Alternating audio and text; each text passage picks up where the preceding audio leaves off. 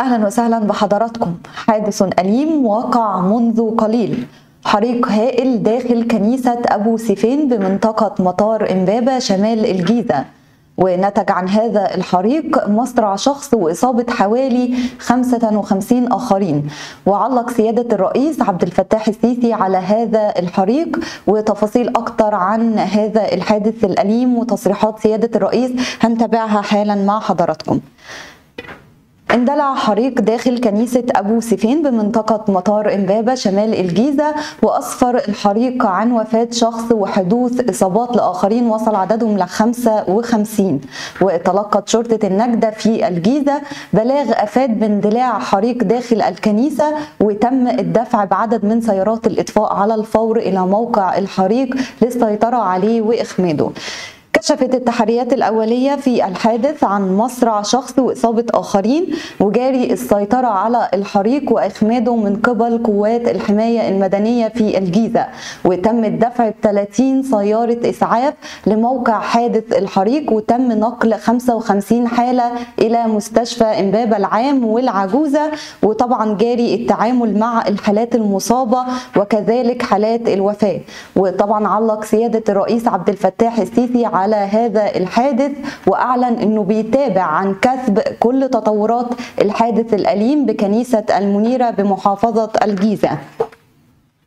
وكتب سيادة الرئيس عبد الفتاح السيسي عبر صفحته الرسمية على موقع فيسبوك أتابع عن كتب تطورات الحادث الأليم بكنيسة المنيرة بمحافظة الجيزة. وقد وجهت كافة أجهزة ومؤسسات الدولة المعنية باتخاذ كل الإجراءات اللازمة وبشكل فوري للتعامل مع هذا الحادث وأثاره. وتقديم كافة أوجه الرعاية الصحية للمصابين. وأكمل أكمل سيادته حديثه قائلا أتقدم بخالص التعازي لأسر الضحايا الأبرياء الذين انتقلوا لجوار ربهم في بيت من بيوته التي يعبد بها. وأكد الدكتور حسام عبد الغفار المتحدث الرسمي لوزارة الصحة إنه تم رفع حالة الاستعداد بمستشفيات محافظتي الجيزة والقاهرة مشيرا إلى توافر جميع فصائل الدم وأدوية الطوارئ في جميع المستشفيات التي استقبلت المصابين. ونوه سيادته آه نوه طبعا الدكتور حسام عبد الغفار إنه تم إبلاغ الإسعاف بوقوع الحريق في تمام الساعة الثامنة صباحا و57 دقيقة يعني حوالي الساعة 9 صباحا.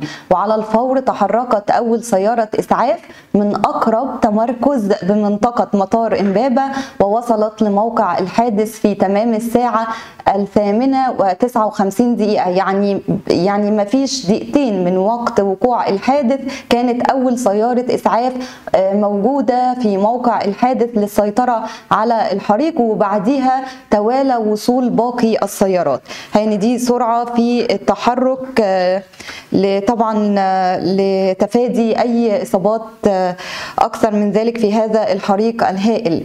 و صراحة نرجع نفكر حضراتكم تاني إن هذا الحريق اندلع صباح اليوم في تمام الساعة الثامنة و57 دقيقة في كنيسة أبو سيفين بمنطقة مطار إمبابة شمال الجيزة وأسفر عن وفاة شخص وحدوث إصابات ل 55 آخرين. ودي كانت تفاصيل هذا الحادث الأليم وطبعا بنتمنى الشفاء لكل المصابين ورحمة الله على المتوفين في هذا الحادث. وطبعا هنكون في متابعة مستمرة مع حضراتكم لهذا الحادث الذي وقع منذ قليل. ولأي تطور هيحصل هنكون في متابعة مستمرة ليه مع حضراتكم من خلال موقع صدى البلد. شكرا لكم وتعازينا لكل للمتوفين. وطبعا طبعا تمنياتنا بالشفاء لكل المصابين في هذا الحادث الأليم. شكرا لحضراتكم وإلى اللقاء.